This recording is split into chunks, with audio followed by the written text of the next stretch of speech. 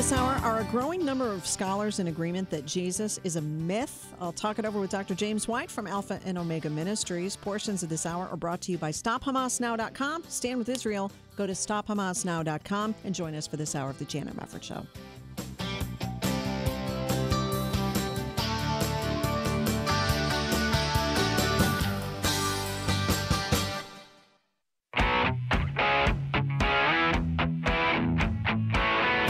The Janet Mefferd Show. The great thing about the Bible is it never evolves. What's immoral about getting married? Gay, straight, everybody wants that. Don't discard the time tested values upon which civilization was built simply because they're old. There are many paths to what you call God. It's so simple. Maybe you need a refresher course. Jesus said, I am the way and the truth and the life. No one comes to the Father but through me. If the Word of God says it, I believe it. That's the way it is. And now, here is Janet Mefferd. Well, it is great to be with you. Thanks so much for joining us. In recent years, we have seen a number of writers attack biblical orthodoxy. This has gone on for quite a while, of course. But in recent years, we've seen the works of Dr. Bart Ehrman, for example, who's authored a number of books attacking the Bible, attacking biblical truth, including the books Forged and Misquoting Jesus and How Jesus Became God. And then we've also seen some books that attack Jesus and his very existence. We have the book Zealot by Muslim Reza Aslan, and we've had this book by atheist activist David Fitzgerald called Nailed 10 Christian Myths that show Jesus never existed at all. And now some of the recent reports coming out are indicating a growing number of legitimate scholars believe there actually never was a Jesus, which is just astonishing to me. But we're going to talk about it today with Dr. James White, who is director of Alpha and Omega Ministries, a Christian apologetics organization based in Phoenix, and the author of more than 20 books, including his latest, What Every Christian Needs to Know About the Quran. And it's just a delight to welcome Dr. White back. How are you today? I'm doing pretty well. I, I managed to swim into the office here. I was going to say, I thought of you today. I was looking at the Drudge Report and I said, he's probably in a boat somewhere, but as long as he's got a life jacket, we're probably still get a cell phone. We're probably still good. Yeah, we, we haven't had this much rain in Phoenix in 75 years. So, oh, uh, wow. That's, um, that's pretty impressive. But we needed it. Yes. Uh, that's what we keep saying, anyways. But, uh, Absolutely. good, good, good. Glad you're okay. Well, Yes. why is it we're seeing this uptick in people, uh, scholars claiming that Jesus didn't exist? Um, the internet and a society in uh, complete moral and ethical meltdown uh, because nothing nothing has changed as far as historical studies or anything. In fact, the irony uh, is that uh, one of the more recent Bart Ehrman books uh, was debunking this whole thing. Um, he's always been one that has sort of said uh, these we we call them mythers. Uh, these these mythers there aren't any serious historians amongst them, and uh, so he wrote a book, um, and it was a it was a backhanded slap at the Orthodox view of Jesus. But in the process, he said there, there isn't any question that there was a Galilean preacher named Jesus. I mean, no one can seriously doubt that. Which is what made reading this uh, Nailed book uh, so interesting. Was uh, I I now that I think about it, I may have heard something about it when it first came out, but it's a it's a self-published book, and uh, you know, uh, you all had called, and so you know me, I, I decided to uh, go for a bike ride and read a book. So uh, Oh, that's safe. yeah, well, yeah, uh, I'm not sure the bike riding is, but uh, that's that's how I get through stuff. And so I, you know, bought the book on Kindle and recorded it and listened to it, and and I'm I'm just almost chuckling at times. It was it was just so bad Yeah. uh, on just so many levels, just from any historical perspective at all, and and as, and especially when you start dealing with textual criticism and stuff, it was just so amateurish. And and so I'm I'm I'm coming back, going, well, okay, if this is a new book. Then why didn't he deal with Ehrman? I mean, he quotes Ehrman, but he doesn't quote Ehrman's book on the existence of Jesus. And and I said, you know, I just have a gut feeling, given the sources he used, uh, that this guy is some radical atheist someplace. and I get back, and of course, I look on the internet, and guess what? Yeah, he's the the head of San, Fran- San Francisco atheist. It's one thing to be an atheist, but it's even worse to be an atheist from San Francisco. I mean, Yeah. you put all that together, it's pretty bad. So, but the, the thing is, you know, we can sort of chuckle and we'll look at some of the specifics uh, because we all need to, unfortunately, know what's what's out there. But when you ask, is there really a growing, is there a consensus? Is there a movement? Um, not among serious scholars, but um, look, if if the state of California can kick all of inter, of uh, University Christian Fellowship uh, out of the university system simply for being Christians. Um, what what would hold that kind of quote unquote academic uh, context back from just throwing all the canons of historiography out the window and uh, promoting this kind of thing? That's nothing, true. nothing at all. So it's a society that is in in absolute uh, meltdown when it comes to being in rebellion against God's truth. And uh, this is a very convenient way to do it. I mean, you don't have to worry about what Jesus taught if he never existed. That's right. You don't have to interact with anything. And and I thought it was interesting when you mentioned that you discovered it. I, I suffered through the same book yesterday, so we can talk about it in detail. But I said when I looked at his bio and I said the head of Evolution Palooza in San Francisco is is debunking Jesus historicity. I mean, uh, does this guy really have the chops to even delve into this? Well, you know, uh, the the internet creates. Um, uh, the internet has created. Well, in, in fact, I don't know if you if you found it, but uh, I was directed via Twitter, uh, which sometimes amazingly does good things. Um, I was directed to a fascinating review of the book by an atheist Oh wow. um, that ripped it to shreds. I mean, it used language that you and I can't use in our context. man. um, but it basically said, "This is a load of hooey. This is horrible. Uh, this is just, just."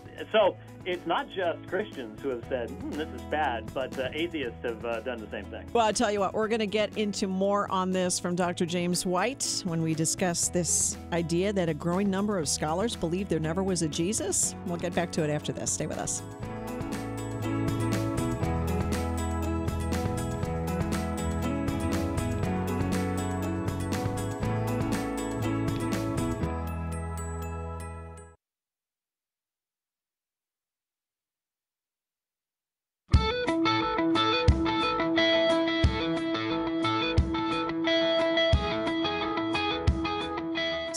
It the case that Jesus is just the product of mythologized history and the idea that he existed is the product of reworked mythic themes that were common in the ancient Near East? Well, these are some of the claims that we've been hearing of late. We've seen some of these books come out. We're talking about one in particular called Nailed by atheist activist David Fitzgerald, my guest, Dr. James White from Alpha and Omega Ministries. So, one of the things I've read that some of these books have in common that question uh, whether or not Jesus existed, and I want to get into the details on those arguments, are the names uh, Robert Carrier and Robert Price. now, who are these guys? Robert Price is a nice guy. Uh, I debated Bob Price uh, at the CRI National Convention in 2010. And I spent, uh, well, again, uh, hours and hours and hours listening to his debates, listening to his lectures. He's a radical, radical, radical. You ready for this? You sitting down? I'm sitting down. You're sitting down. He's an Episcopalian atheist. That sounds about right. Yeah. Seriously, he goes to an Episcopalian church as an atheist. Um, he, uh, he's just uh, very, very unique. A nice guy. Generally, when people debate him, they dismiss him by simply saying, Nobody believes that you believe, because he is absolutely alone in what he believes. I chose to go a different direction. I actually studied what he believed and then argued his beliefs. And he was absolutely overjoyed um, at having someone actually respond to him. So much so that when I gave him one of my ties, I don't know if you ever noticed, but sometimes I'll, I'll make ties that tie into the subject of the debate. And I was wearing this tie that 1 Corinthians chapter 15 from Codex Sinaiticus, the first few verses, which he says comes from like the second century or something like that, which is a completely radical perspective. But it's a beautiful tie mate. So I gave him one, and right there during the middle of the uh, debate, during his comments, he's taking his tie off and putting the tie I gave him on. So he's a, he's a nice guy, but he is way out there in the ozone layer as far as his perspective goes.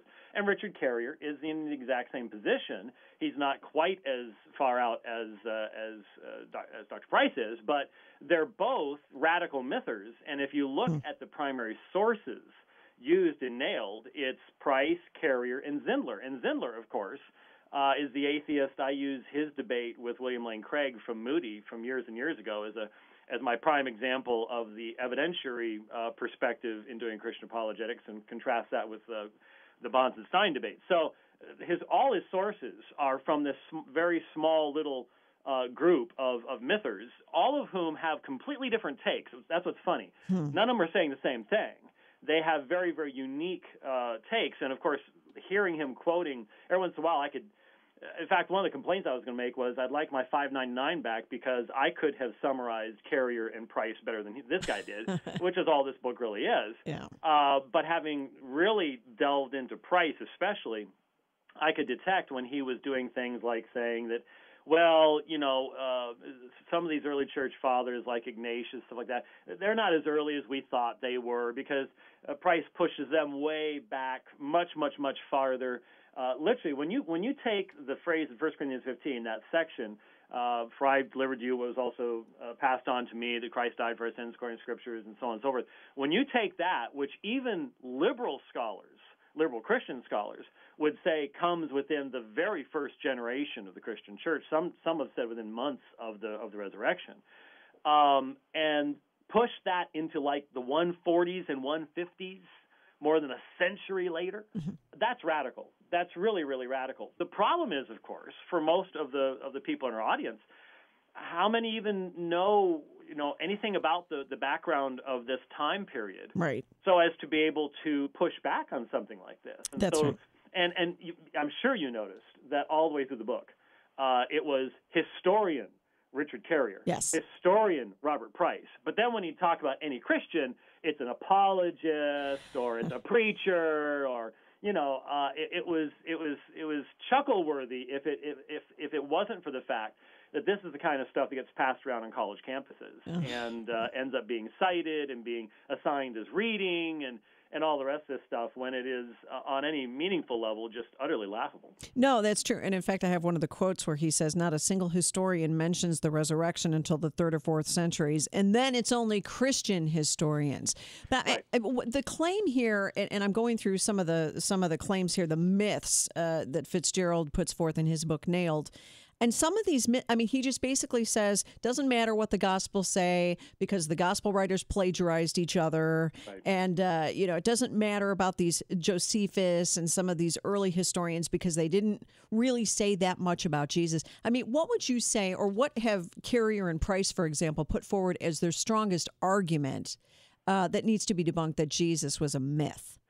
Well, strongest arguments. Uh, again, it, it, goes back to historiography. I mean, Bart Ehrman, who is, I would say, the, the strongest critic in the English language of New Testament Christianity, laughs at the mythers um, because he recognizes that by any meaningful historical uh, standards, the evidence for the existence of a man named Jesus is incredibly strong. And the reason for that is, well, let's use some of the, the standard arguments. Well, uh, for example, in Nailed, it said, well, we don't have any physical evidence of Jesus' existence. Think about that for just a moment. We do not have physical evidence of the existence of 99.99999% of all human beings who've ever lived. Right, right. Uh, especially uh, at that particular period of time. And yet, in the same book, I'm sure you caught this when he got into the later myths he turned that around and said, "Well, Christianity was just this little thing. It was it was very very small. It was it was tiny. So at the beginning of the book, everybody should have known about Jesus because it was so big and it was so everybody knew about it. And then he gets to the end of the book, and actually it was just this tiny little movement, and uh, yes. and that's why no one knew anything about it. It's like." Wow, what was, was did something happen between the writing of the beginning of the book and the end of the book? Uh, com- there there was no consistent historiography that could be applied to to even two of these myths in a row, let alone the whole book. And unfortunately, the historiography used by Price is different than the historiography used by Carrier, which is different than that from Zindler. And so that's why they all try to carve out their own little niche and their own little audience uh, because they have their own little their own little pet theories. Uh, the reality is that this was not the central uh, portion of the Roman Empire.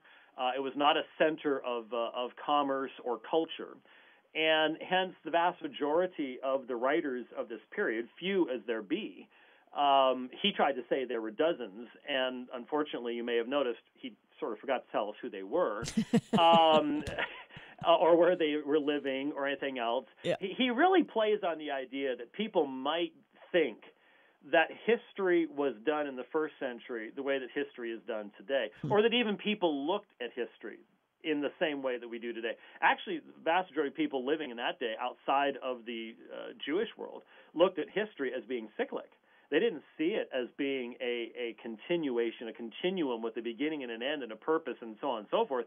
They saw it as being a cycle. Hmm. And so they had a completely different way of even looking at, at that. And, and then what we consider history, we were taught in journalism class or something like that, which, well, okay, back when I was.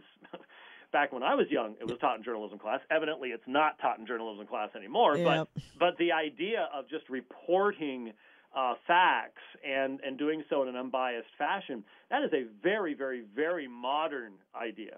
the idea of well, you know, if you don't have it on on tape, uh, to use again a dated uh, phrase, Yes. uh, but if you don't have it in MP3, you don't have it uh, video recorded on your on your iPhone or something like that, then it's then it's it's questionable. That's obviously a very very very modern uh, concept, and so if we go if we if we assume that the people we're talking to are going to buy into that modern idea of how you do reporting and things like that, and then transport that back into the into the past, well, it doesn't work past about 1950. Um, and so people struggle to understand how history was done in the past and then recognize that the sources, therefore, that history presents to us um, have to be handled in, in a different way. And unfortunately, um, the author of Nailed has no earthly concept. No, now uh, here one one of the things he talks about is he says the first century was one of the best documented periods in ancient history. And then he says there were all kinds of things in the Bible that weren't noted other places by people like Josephus or Tacitus or people like that. Things such as Caesar taxing the whole world or Herod's slaughter of the innocents or Jesus, as he calls it, famous ministry or Right. his trial and crucifixion.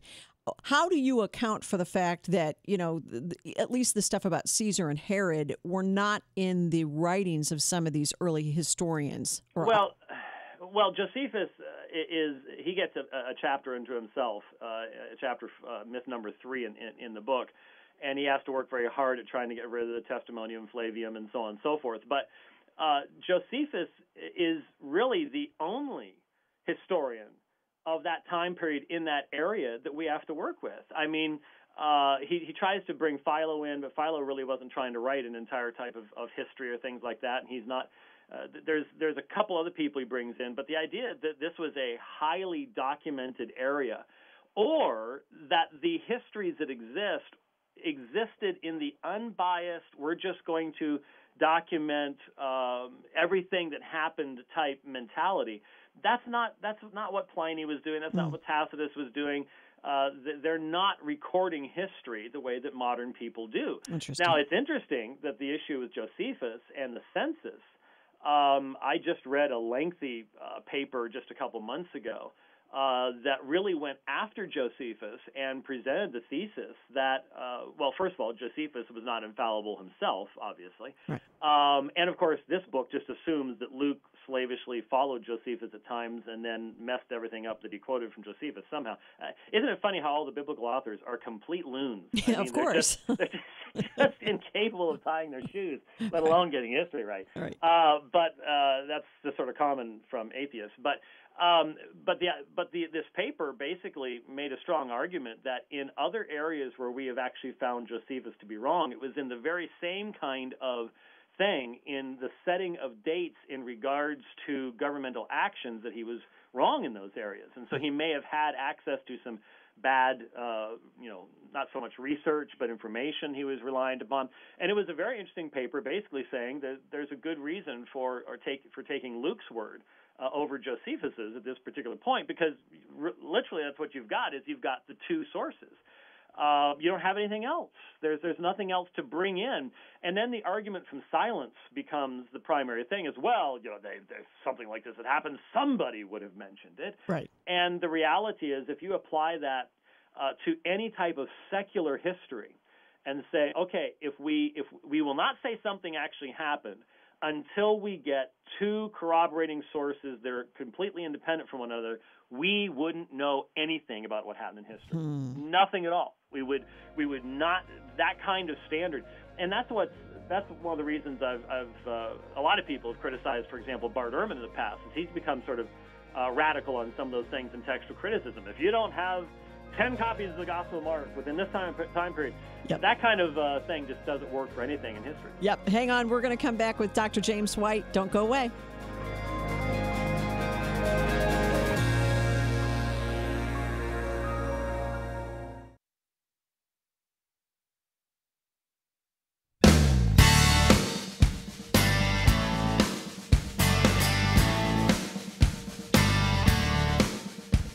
Right, so how do we know if these so-called historians and or scholars who are claiming that Jesus is a myth actually are wrong? This is the question we're addressing with Dr. James White from Alpha and Omega Ministries. We're talking about some of these books that have come out in recent years claiming that oh, Jesus really wasn't real and if you just look at all the evidence it's overwhelming. Now, yeah, it's interesting this book Nailed, uh, Dr. White makes a lot of these, you know, talks about these so-called myths and uh, I mentioned before, he says the gospel writers plagiarized each other, and Luke yeah. plagiarized uh, Josephus, and Luke plagiarized Mark, and Matthew plagiarized Mark. How do you deal with some of these? If you just had an atheist come up to you and say, Jesus was obviously a myth, how would you begin to refute that? Well, you know, there's two questions there, and I, and I think uh, one of one response and it all, all, depends on how much time you have, obviously, as to how in depth you're going to be able to uh, to get. But the thing that you were just mentioning, I think, for most of the folks in our audience, as far as Christians is concerned, is is where we can both deepen our own Christian commitment, our knowledge of the Bible, and at the same time help prepare ourselves to deal with these issues. Is to know something about the history of the Gospels and their relationship to one another, because that really was an area that uh, he focused upon, and and that's not just an area that uh, atheists focus upon. But interestingly enough, uh, my Muslim friends spend a great deal of time focusing mm. upon alleged contradictions between Matthew, Mark, uh, Luke. I think I've mentioned before that for the past nine years, while uh, when I teach the adult Bible study class at, at church, which means I'm not preaching and I'm not someplace out of the country somewhere, uh, that's why it's taken nine years. We've been going through the Synoptic Gospels, Matthew, Mark, and Luke, and I've been throwing John in just for the fun of it. So we're we're covering all of the all of the Gospels basically for nearly a decade, and we're doing it in the parallel form. We're using a synopsis of the Gospels so that you're forced to deal with the fact that Matthew is not a photocopy of Mark, and Mark is not a photocopy of Luke, and Luke's not a photocopy of Matthew, and that there are differences between them. And, and in fact, uh, we're going into the Passion narratives now. And uh, just this past Sunday morning, I was noting the difference, different the different emphasis uh, that is placed just in a, a, a brief description between Mark and Matthew, and why, given their audiences and the differences we've already noted between those gospels, why would there be the, the difference that, that existed? And so I think it is vitally important. I, I mean, we, we may laugh at nailed because it needs to be laughed at. It's just that bad. But uh, at the same time, the reason this kind of stuff uh, can gain traction is because it's easier for us in most of our churches to not do the type of, of work that we need to do to be real students of the word and to, for example, be able to uh, deal with uh, Jairus's daughter, for example. Yeah. If you if you look at Matthew and Mark's recording of that, there's a big difference. Mark has a much longer story. There are people that come and uh, in the middle of the story and tell uh, Jairus that his daughter's died, and that's not in Matthew. And and uh, you know what are all these what are these differences about? Well, by really digging in there, it can be a little uncomfortable. It can actually require work.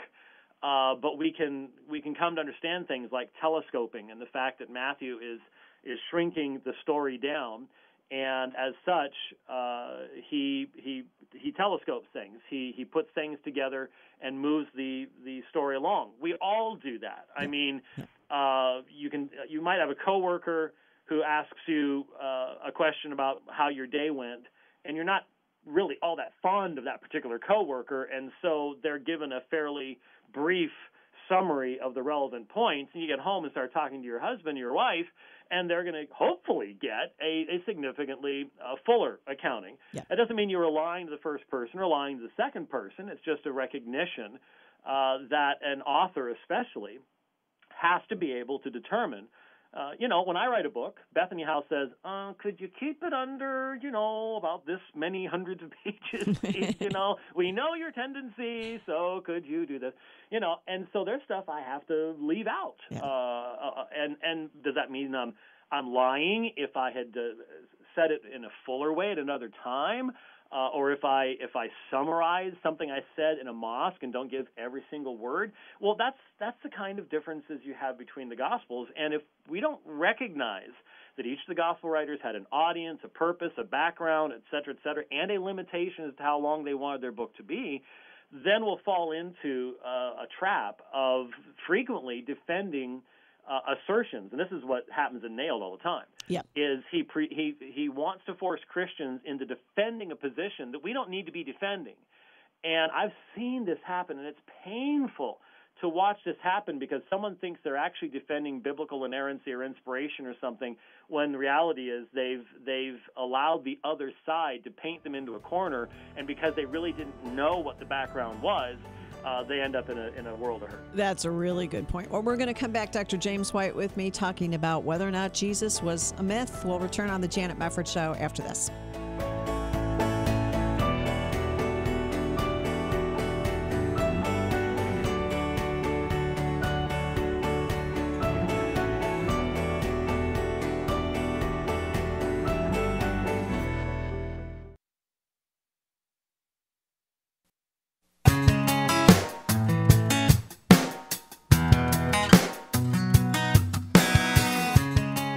It the case that we have a growing number of legitimate scholars believing there never was a Jesus? Well, one of the books that makes this case is a book called Nailed 10 Christian Myths that show Jesus never existed at all. And some of these things have to do with archaeology and history and eyewitnesses and these sorts of things. And Dr. James White is helping us unpack this. Now, one of the things I thought was interesting in Fitzgerald's book is he says, for example, the uh, setting of the Gospels is an idealized Never Never Land version of Galilee, and he goes on to say, you may remember this part. He he goes on to say Mark must have been inspired by Homer's Iliad and or Odyssey because Jesus was traveling by sea so much, and uh, Mark must have invented the Sea of Galilee. At that point, he just lost me. Yeah, well, that's because there is a uh, there is a book. I don't have it here in the in the studio right now, but uh, and he does make reference to it. I heard the footnote go by at some point. Um, and that's what was what was making me chuckle is that there's an entire book out there that says Mark is mythology based upon trying to parallel Homer. Well, as soon as I heard that, I knew exactly which book he was talking about. But it's like, no, wait a minute. Which conspiracy theory are we going to go for here?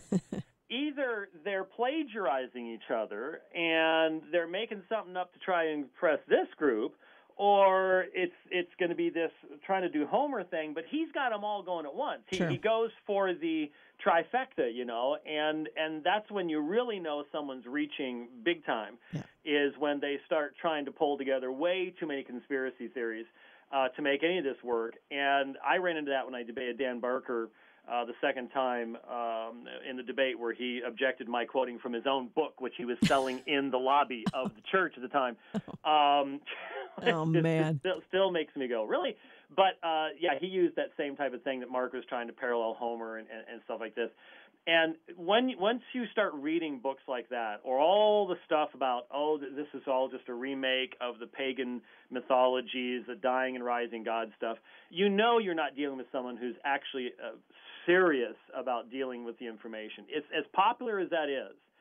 Once you actually start looking into Dionysus or or Isis, the old, the ancient Isis, not the modern one, um, the uh, you, you know, and and all the the Egyptian religions and the Greek religions, and trying to make a parallel to Jesus, and then asking the questions: Do you really think that someone was trying to impress the Jews by making up stories like this and drawing from paganism? I Yeah, mean, true. really? True, true. But unfortunately, um, uh, with with with serious Christianity being in essence kicked off of our college and university campuses, uh, the full-scale assault by the secularists uh, against the faith is well underway, and um, I just don't know, you know, how long. Uh, I just I just hope the internet stays as wild and free as it is, Yep. because it may be in the very corners of that uh, wild, free area that we're able to continue to do the things that we do. That's a great point. I, and you know, he has so many. You're right. He just kind of throws everything but the kitchen sink, hoping that everything will stick, and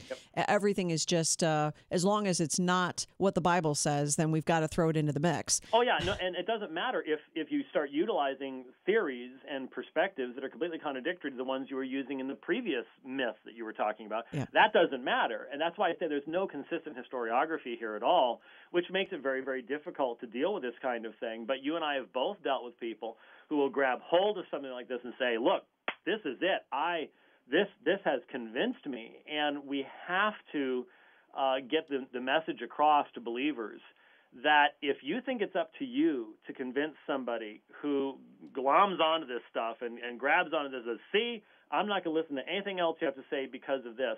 We become frustrated. We know how bad it is. That can be very discouraging to us. But we've just got to recognize, first of all, it's not up to us to change hearts and minds. We can't. Yeah. And secondly, we are called to be salt and light we are not called to climb into people's brains and uh, and and somehow change the way that they're thinking. And we are not being uh, we're not being failures when people grab hold of stuff like this because we're living in a land that is clearly under the judgment of God. Um, we can't help but read Romans one and hear stuff about uh, about the, the darkening of the minds. I mean, I know you've already uh, read the decisions that came down recently uh, in regards to to marriage and stuff, and the just the wild-eyed ethical and moral chaos. That is being uh, pronounced by people it, we will we will become a very discouraged people if we think that somehow this is a failure on our part. I hate when people blame the church. Thank well, you. Thank I, you. It depends on, depends on what you're calling the church here. Okay, let's. I yeah. I have a fairly biblical definition of what that is, but but everyone's running around saying, well, if the church had done this, if the church yes. had done that, yes. and I, and I'm just like, seriously? Thank you. Have, have you noticed the collapse of the Roman Empire? I know. I, I get frust- I get frustrated with that same thing. I said that it's not that there aren't certain things to which you could point to the church and say we could have done that better, we should have done that better, but I am personally responsible for the collapse of Western civilization. Yeah. It's a little much. Uh, just a little bit much, and we just we just need to recognize that that our role is to speak the truth and it's not up to us how the world responds to that truth. I mean, I was just just on Facebook. I've actually, believe it or not, I'm only about eight years late to the party, but I actually started doing more Facebook recently, and uh, now I know what's going on in my kid's life. It's great. but uh, good. I see my granddaughter more often that way. But uh, but I there was I saw someone mention something about uh, the the Chick Fil A founders passing. Yes and I saw the most vile bigotry yep. being spewed by atheists and secular activists and so on and so forth. And I, I, I made the mistake of commenting, and oh my goodness, yeah. uh, there is there you cannot make people think rationally. You can't force them to do it. No. Uh, but you can, uh, for the glory of Christ, think rationally yourself and speak rationally that way. And remember, you only have an audience of one. You only have to please him and do what he calls you to do, no matter how difficult it is to do. And if you're pleasing him, then at the end of the day, uh, that's what you need to do. And if we don't if we don't grab hold of that, we're going to become a very very unhappy people in the society in which we live right now. I think that's really true, and I think more when I was reading this book, Nailed, I kept saying I've got to just keep going back to the text, the text, the text, being able to defend the text of Scripture, the Gospels as being reliable, the historicity of of Jesus, and and I mean we need those skills again. Oh, we need to know the word. I mean, uh, you, you heard when he I hear music, but we'll, we'll talk. If, if, we can remember uh, the the Carmen Christi, Philippians chapter two. Remember what he said about that as a great illustration of okay. why we need to know the word when we get back. We'll do that. Great, great segue. We'll be back with Dr. James White right after this.